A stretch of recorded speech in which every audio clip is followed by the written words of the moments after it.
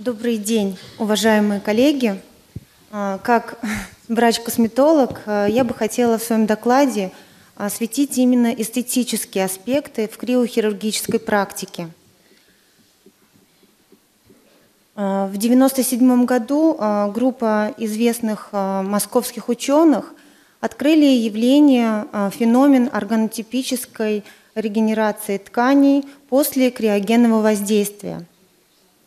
А, этот а, феномен очень, очень а, тесно именно связан с тем фактом, с тем фактом, что кератиноциты, находящиеся на разных стадиях дифференцировки,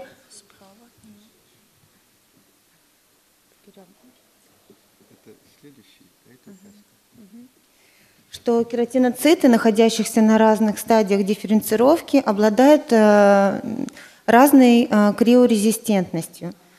Значит, стволовые э, при охлаждении кожи до уровня от минус 10 до минус 50 градусов стволовые клетки кожи и транзиторные кератиноциты, они сохраняют свою жизнеспособность, а дифференцированные кератиноциты погибают – при отогревании стволовые клетки кожи а, за счет своей криорезистентности проявляют высокую пролиферативную активность и происходит замещение молодыми базальными формами кератиноцитов.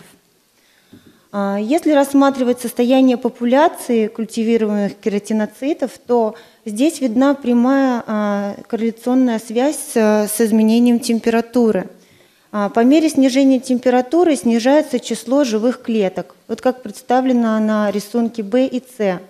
А на восьмые сутки а, начинается формирование монослоя за счет стволовых кератиноцитов.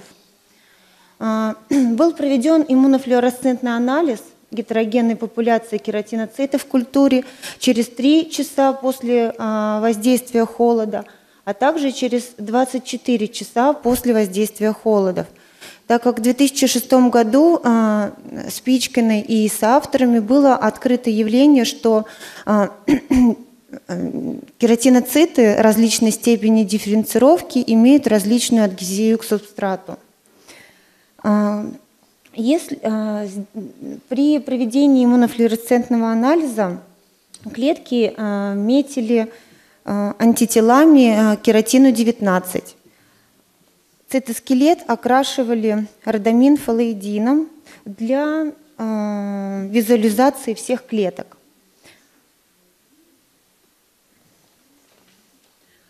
Э, на, на первом э, рисунке А Здесь э, представлены, наряду с ярко окрашенными стволовыми клетками, присутствует значительное количество дифференцированных кератиноцитов – через три часа после воздействия холода а, при а, минус 20 градусов общее число клеток снижалось, при этом относительное количество стволовых клеток кожи возрастало. При дальнейшем снижении температуры до минус 40 градусов происходило увеличение преобладания стволовых клеток кожи. Через 24 часа после охлаждения отмечается увеличение, как вы видите, общего числа кератиноцитов. Притом э, количество стволовых э, клеток кожи преобладает над количеством э, дифференцированных кератиноцитов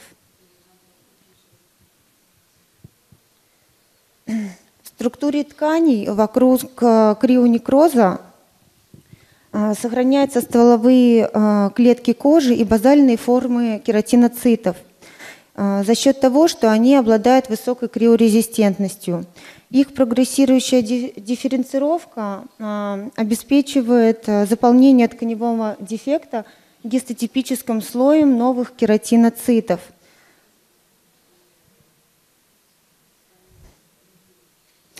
И сопоставление выше приведенных экспериментальных э, материалов э, с клиническими наблюдениями представленными, например, на фотографиями, это все объясняет механизмы гистотипического восстановления кератиноцитов и формирования э, хороших косметических рубцов после криолечения новообразований кожи. Спасибо за внимание. Спасибо, Ольга Анатольевна, за интересное представление. Теперь мы знаем, почему после замораживания рубцы мягкие, эластичные, почему хорошие косметические результаты. Все дело в высокой криорезистентности стволовых клеток. И чем больше зелененького на этих снимках, тем лучше.